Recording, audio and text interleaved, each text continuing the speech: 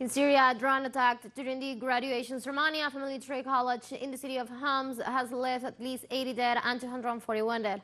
The preliminary figures were reported by the Ministry of Health, Hassan al-Ghabash, on Thursday.